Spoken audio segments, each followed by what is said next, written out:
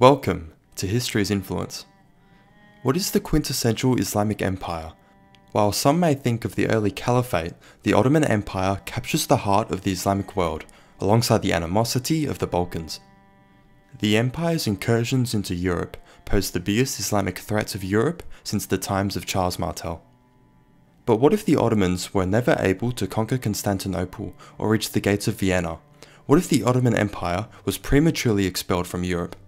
To expel the Turks from Europe, we will need the anti-Ottoman crusade of Varna to be successful. We will have a crusader victory at the Battle of Varna. The Battle of Varna was a famously tragic defeat. It was led by the ruler of Hungary, Poland and Lithuania, the single King Wladislaw.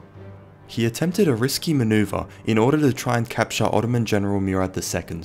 The Ottoman janissaries who guarded Murad II were able to successfully defend Murad, Wladislaw was purportedly close to achieving success, but he still failed, and paid for his failure with death. In this point of departure, we will assume that the Crusaders actually do capture Murad II. This would cause the Ottoman army to rout away from the battlefield. With the biggest of bargaining chips, the Crusaders would move forward. Such a symbolic but also practical victory would likely encourage others to join the crusade. Namely, the Serbians, Albanians and Byzantines would likely assist in the endeavour, leading to a difficult but ultimately successful expulsion of the Turks from Europe. To avoid this timeline just being a more drawn out version of our own, we're actually going to assume that the Ottomans are expelled from Europe for good. We will also assume that the Ottomans do not turn the Crimean Khanate into a protectorate, because that's still part of Europe, and with the humiliation of the crusade the Ottomans faced, they would probably be less capable of projecting power. Without Istanbul, the Ottomans won't have the strategically important and well defensible city as their capital, perhaps moving it to their old capital of Bursa. The Hagia Sophia would not be converted into a mosque, and the Blue Mosque would never be built. It would not be true that Istanbul was once Constantinople, because the city would be of no business to the Turks anymore. It could be argued that with Christian control of Constantinople, Portugal and Spain would not have the same desire to explore and colonise the entire world. But the Iberian powers had already been colonising islands near Iberia, including the distant islands of the Azores. Perhaps colonisation would be mildly delayed, but I would not expect this to impact world history very significantly. A big problem the Ottomans would face after the Crusade is their internal politics. With Murad II held as a hostage by the Crusaders, his character would be ruined. To maximise Ottoman instability, we will assume that Murad II is executed by the Crusaders, a symbolic but also practical attack on the Ottoman state. Perhaps they would impale his head on a spike, a technique the Ottomans would usually be using for the Europeans. The young Mehmed II, who would be 12 at the time of the loss of the Crusade, would maintain his leadership of the empire. Being the ruler during the catastrophic war and being the son of the executed Murad II, his leadership would become quite fragile. A potential civil war would be looming for the Ottomans. Tamerlane had attacked the Ottomans in 1402 during the Battle of Ankara, causing a civil war between the captured Sultan's sons and allowing many Turkish beyliks to become independent. Whilst I don't think the Ottomans in this scenario would see any breakaway beyliks, to begin with at least, I would expect the independent ones to seize this opportunity of weakness and attack the Ottomans. But I'm hesitant to say that the Ottomans would simply collapse and be replaced. The Ottoman Empire had lasted a very long period, surprisingly long for a Muslim empire, and there are a lot of reasons why this was the case. A stable dynastic system, the effective integration of Islam into administration, the tolerance of religious minorities, at least initially, and many other factors allowed the Ottomans to last over 600 years. The fact the Ottomans were able to weather the storm of Tamerlane proves to me that the Ottomans should be able to maintain sovereignty following the aftermath of their European humiliation. The Ottomans would eventually manage their civil crisis successfully and over time assert control over the Beyliks as the predominant Anatolian power. The Christians would struggle to wrestle control of Anatolia away from the Ottomans, given their local strength and weak neighbours on the other side of the Dardanelles, I will focus on these neighbours later in the video. Despite this successful defence, I'm still skeptical towards the idea that the Ottomans would become a large empire. The Ottomans would no longer have their majority source of Janissaries, their effective elite units in combat, and their Ottoman Sultan's household troops. These troops were child slaves from Christian regions of the empire. Without Eastern Europe, their Christian armies would be for the most part Armenian and Greek, which would most likely shrink the size of the Christian army and give them two consistent identities which may cause racial or religious tensions later down the line. The Devshirme system, in which Eastern European boys were enslaved and forced to serve the empire, would cease to exist. We would see the Ottomans expand into ethnic Armenian territory. I believe the shock of the shameful crusade would cause the Ottomans to turn in on themselves, culturally speaking, becoming a more religiously conservative state. Their usual tolerance towards Christians would shift into bitterness, in particular resentment towards the successful Armenian minority. I don't believe a pre-modern empire would orchestrate a genocide equivalent to the Armenian genocide in our timeline, but it is likely in effect similar tragic results will still occur. I would not expect the Greeks to be treated well either. The Mamluks of Egypt and the Levant were a famous example of Ottoman conquest in our timeline. Within two years, the Mamluk Sultanate was enveloped into the ever-expanding Ottoman Empire. But with a weaker Ottoman state, I'm doubtful they would be able to perform such a drastic conquest. The Mamluks would eventually be replaced by another dynasty. We may see the self-proclaimed caliphs in Tunisia conquering the Mamluks. This would be similar to the conquest of the Fatimids in our own timeline. Without the Ottomans, the Safavid Persians would be more easily able to exercise control in the Middle East potentially leading to their dynasty holding control of Iran for a much longer period of time. A three-way dynamic would form, as it did often in this region.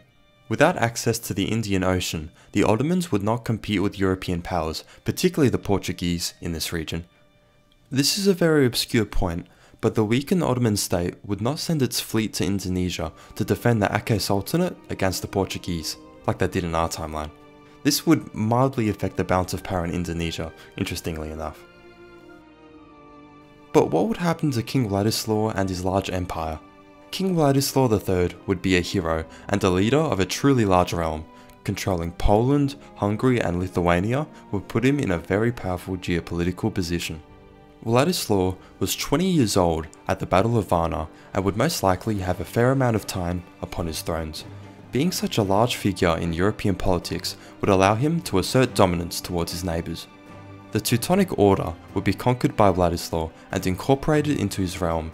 In our timeline, Eastern Prussia had maintained Teutonic rule, which eventually transformed into the Duchy of Prussia. This region maintained Teutonic rule because of the Thirteen Years' War between Poland and the Teutons, in which the Polish allied rebels of the Prussian Confederation had sought subjugation under the Crown of Poland. In this new timeline, I'm just going to assume that Vladislaw's ambition causes him to fully annex Prussia, integrating its lands into Poland and Lithuania. Like how it is in our modern day, Prussia would become an ethnically Polish region, but it would happen earlier. The early adoption of Lutheranism in Prussia would also not have occurred.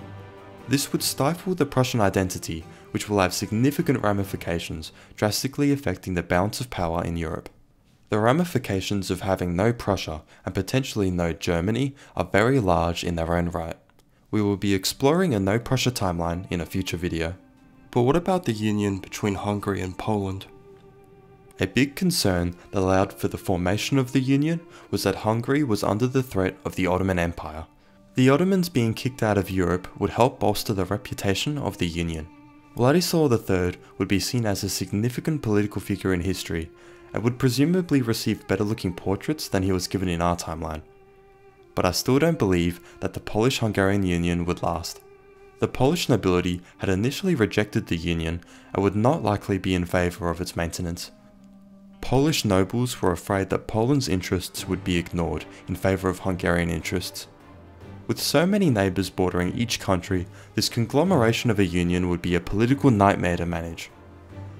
The Carpathian Mountains provide a clear geographical split between Poland and Hungary. Compare this to Poland and Lithuania, which are both parts of the European plain. Geographical borders often need to make sense in history. A few factors make this the case, but easier defence and a higher chance of social or cultural cohesion seem to be the primary reasons. The incentive of defending Hungary against the Ottomans would no longer be of a concern the Hungarian nobles would be less inclined to be incorporated into the large domain and likely seek independence, but Hungary would still be of interest to another European power. it is the Habsburgs of Austria who would likely take control of Hungary in the longer term. The Habsburgs had already ruled Hungary before the Crusade, and I believe their interest in the kingdom would be maintained.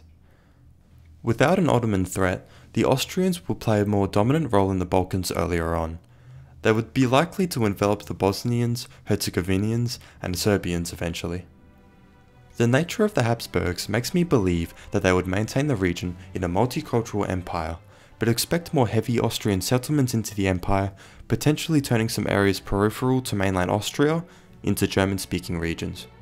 In essence, this would be a thick Austria-Hungary. These regions would not be incorporated into the Holy Roman Empire for the same reasons they were not in our timeline. Protestants within the empire like in our timeline would be clamped down upon, but I would assume tolerance towards the Orthodox Christians within the Austrian Empire would be maintained. This is mainly due to the longer period of schism between the two churches, and also the more staunch religiousness of the region. I believe Eastern Europe would become more prosperous, with a rule more favourable than the one provided by the Ottomans. The Ottomans were indeed religiously tolerant, but their enslavement of European boys, alongside general deportations and massacres, stunted the development of southeastern Europe. This was quite notable in Hungary, where ethnic Hungarians had decreased in proportion to other groups during the Ottoman occupation. This means, in the event of a Hungarian partition, the borders of the new Hungary would be larger than in our modern Hungary. Russia would have similar interactions with the Polish-Lithuanian Commonwealth, so expect the same events to occur. But the partition of Poland would be drastically affected without Prussia. This is something we may discuss in a future video. The other main factor that would change Russia's history is a lack of a strong Ottoman Empire. This would allow them to expand into the unprotected Crimean Khanate much more easily, and dominate the Black Sea in an earlier period. Without the Muslim conquest of Constantinople, the Russians would be unlikely to claim the title of Third Rome, or desire to take Constantinople for religious reasons. Serbia would be able to retake these borders from the Ottomans, mostly within Macedonia, the Serbians were in a stronger position than the Byzantines, so I don't see the Greeks contesting this land initially. This means that the more southern Greek land of Thessaly would most likely break into its own rump state. This would likely be vassalized by Serbia or later conquered by Byzantium. Serbia would be a predominant power of the southern Balkans in a power struggle against the Bulgarians and Byzantines. Expect the pre-existing despotate of Epirus to receive northern Epirus from the Crusade. Bulgaria would be liberated from Ottoman occupation in the Crusade, and the Third Bulgarian Empire would be proclaimed. When doing my research, I often noticed people make the argument that the idea of nationalism did not exist in the early post-medieval world, and as a result, a successful crusade of Varna would not lead to the creation of a Bulgarian state. Whilst I do agree that a modern sense of the term, for the most part, came to fruition in the 1800s, there are examples in history of people groups desiring freedom from another. The Second Bulgarian Empire, for example, was founded upon a rebellion against the Byzantines. The Bulgarians may attempt to siege Constantinople, but without the guns of Urban, and there being a stronger Byzantium, I believe the Byzantine Empire would survive. The Byzantine Empire would see the return of the lands near Constantinople, most importantly the defensible area of Gallipoli. While still in a weak state, the competing powers of Serbia, Bulgaria, and Venice in the region should allow Byzantium to maintain independence. In the long run, I would expect them to solidify their holdings and essentially create an early modern Greek state. I would assume the Venetians maintained their naval strength in the Aegean for a long period, but eventually their lands would return to the resurgent Byzantium. This would also mean the Knights of Rhodes would likely be conquered or made autonomous subjects by Byzantium. Albania would participate in the crusade, helping remove the Ottoman threat from the region. This would further strengthen its national identity. The charismatic general and leader Skanderbeg would be seen as the founding father of the nation. His Catholic affiliation would likely switch to the adoption of his birth religion, Eastern Orthodoxy. I believe they would maintain independence for a respectable amount of time before being enveloped by the encroaching Austrian Empire later in the timeline.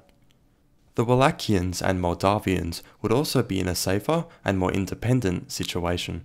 Vlad the Impaler would likely not be known as the Impaler anymore. The idea of impaling came from the Ottomans. He impaled their envoys and such to send a strong anti-Muslim message. He would continue to be the ruler of Wallachia and would focus his brutal centralized control on the principality. They would retain independence in this area for a longer time and harass any potential Bulgarian or Austrian invaders. We were still expecting Moldavians to join the Polish-Lithuanian Commonwealth. I wouldn't expect technology to differ drastically in this timeline, unless the effects of No Prussia cause this to occur. As mentioned previously, this will be in its own timeline. The Crusade of Varna was a failed attempt to put the European expansion of the Ottomans into check.